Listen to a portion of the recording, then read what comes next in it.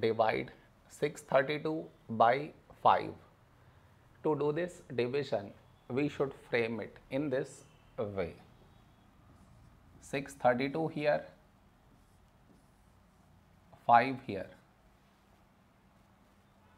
This is your step 1. Next. Here we have 6, here 5.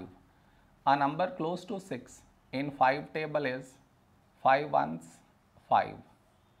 Now we should subtract, we get 1. After this, bring down the beside number, so 3 down, so 13. A number close to 13 in 5 table is 5 twos 10. Now we subtract, we get 3. After this, bring down the beside number, so 2 down, so 32. A number close to 32 in 5 table is 5, 6, 30. Now we subtract, we get 2.